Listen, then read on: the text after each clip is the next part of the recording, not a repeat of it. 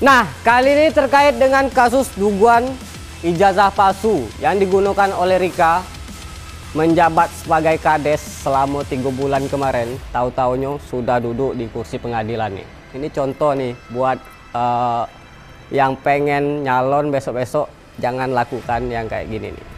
Nah, sekarang sidangnya terus digelar secara maraton di Pengadilan Negeri Kuala Tungkal. Kayak mana pantauannya? Kita tengok di pantauan Bang Jack.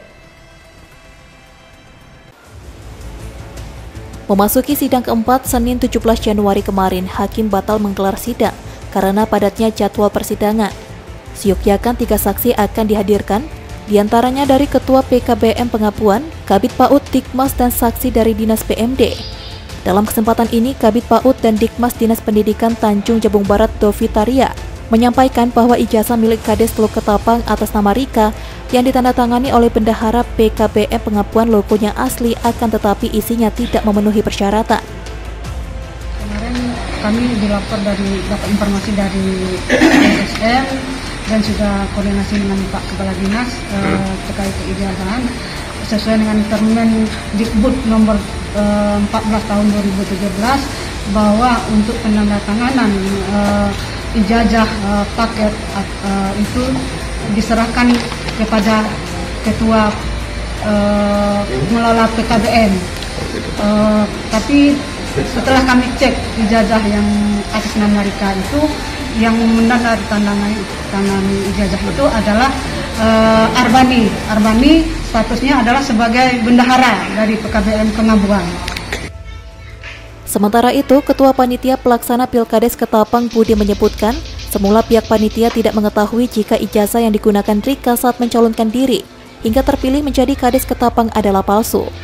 Pihak panitia baru mengetahui saat pelapor yang juga para calon Kades meminta ijazah atas nama Rika.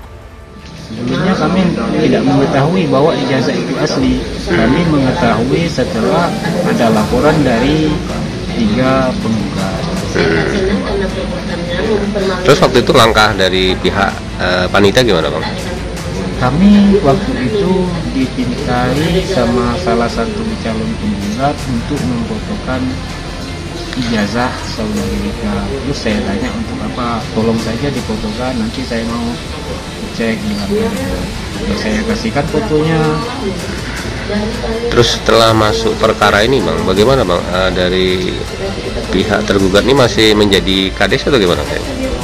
Sampai saat ini saudari Rika sekarang sudah menjadi tahanan rumah. Tapi masih menjalankan tugas sebagai kades. Masih menjalankan tugas. Hingga saat ini, Arbani Bendahara PKMP Pengapuan yang menandatangani ijazah aspal tersebut telah menjadi DPO sejak proses penyidikan di Mapolores Tanjung Jabung Barat. Surya Kurniawan, JEK TV, melaporkan.